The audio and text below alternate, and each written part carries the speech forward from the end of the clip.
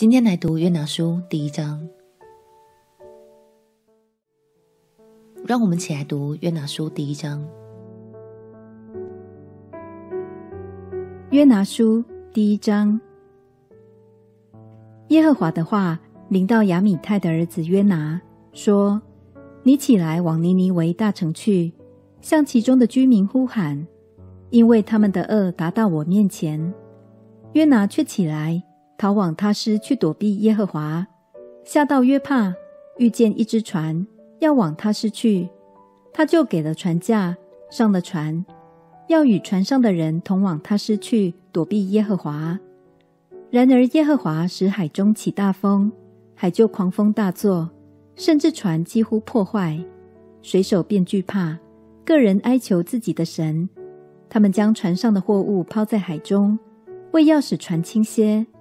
约拿已下到底舱，躺卧沉睡。船主到他那里，对他说：“你这沉睡的人呐，为何这样呢？起来，求告你的神，或者神顾念我们，使我们不至灭亡。”船上的人彼此说：“来吧，我们撤迁，看看这灾临到我们是因谁的缘故。”于是他们撤迁，撤出约拿来。众人对他说。请你告诉我们，这灾临到我们是因谁的缘故？你以何事为业？你从哪里来？你是哪一国？属哪一族的人？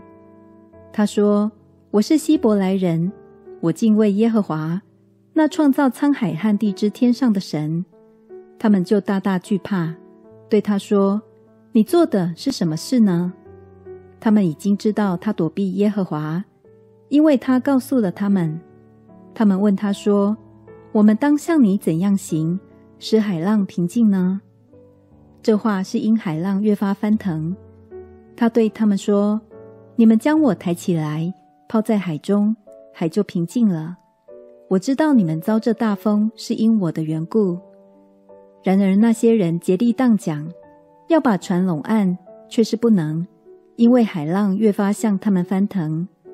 他们便求告耶和华说。”耶和华啊，我们恳求你，不要因这人的性命使我们死亡，不要使流无辜血的罪归于我们，因为你耶和华是随自己的意志行事。他们遂将约拿抬起，抛在海中，海的狂浪就平息了。